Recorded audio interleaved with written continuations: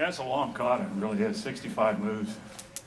But uh, depending on where you are in karate, it takes, takes your breath away. Uh, uh, typically in uh, Shotokan karate, for those of you who don't know, uh, we train on, on hardwood surfaces. Uh, this is a little soft for us. Some people can train on concrete. And of course, in all martial arts, you have to be prepared to train and defend yourself regardless of the terrain and the ground. What we're going to be doing now is some applications based upon the two kata that you saw. The first applications that we'll be doing will be based upon the Bassai Dai, which was the first kata we did. So, uh, can I take? Uh, everything we do in uh, Shotokan Karate begins with a bow and ends with a bow. This is uh, a form of partner training, so it's not as though the person you're training with is your enemy. They are your partner. Now this is from Bassai Dai, and we're going to be doing this two times, one very slow, and then one regular speed.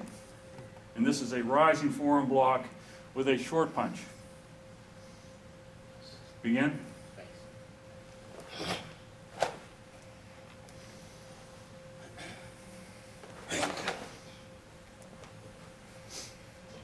Now that, uh, that is a move that is within the kata Bassai Dai. Number two, correct, Randy? Number two is also from Bassai Dai, and this is uh, entitled Inside Hook Block.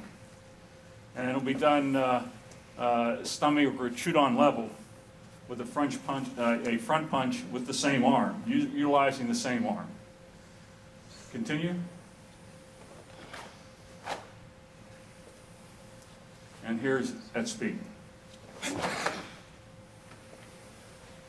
Surprise, surprise. This is from also from Bassai Dai, and uh, Randy Fields, uh, Sensei Fields will be will be defending with this one. And this is uh, an upper level forearm block, stepping in with a back fist strike. Slowly.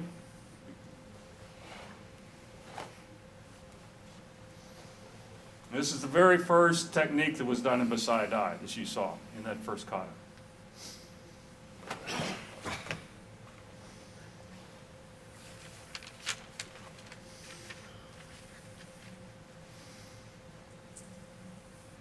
These are uh, the next series of techniques you will see are what is known as instant counter techniques.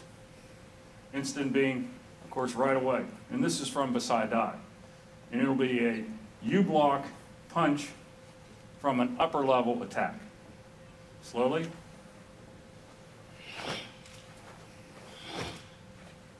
You can see that uh, in the kata, uh, Bassai Dai, Actually, there were three of these techniques used, this is the first two, and it's done from both sides. So when you, you uh, in the Shotokan Karate, uh, what you do is you utilize both sides of your body so that you maintain your balance. So this will be done with speed.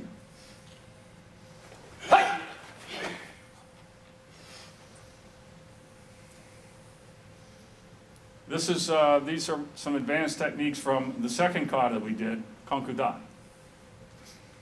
And the first one, which will be defended by, by uh, Sensei Fields, is a pressing block and a four-finger uh, spear hand done at the chudan or stomach level. Slowly. You can see the initial uh, uh, block is a pressing block and then the spear hand with speed. Who? it's nice to have a good partner, isn't it? If you didn't have a partner, it would be uh, somebody would be in trouble. Uh, this one is uh, a rising block with open hand, knife hand strike, followed by stepping in front snap kick. Slowly.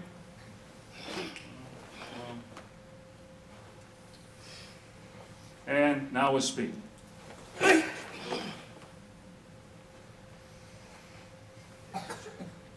Next application from Kanku Dai is called a sweeping palm or open hand with an upper level palm heel strike or a lower level palm heel strike.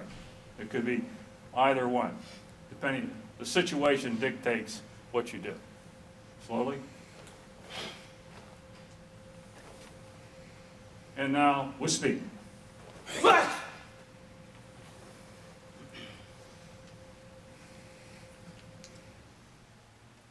This is, uh, uh, since uh, distancing is very important in Shotokan karate and all martial arts, uh, sometimes you are at a, a great distance from your opponent. Uh, next time you might be at a very short distance. So uh, instead of just using your, your fists or your open hands, you might have to use, use your elbows or your knees. So this is where this comes in. This is a sweeping palm open hand block, elbow strike. Stepping in. Very slow. With speed.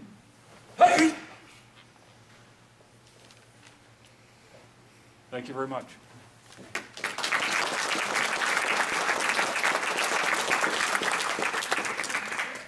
Okay, again, they'll be at uh, Station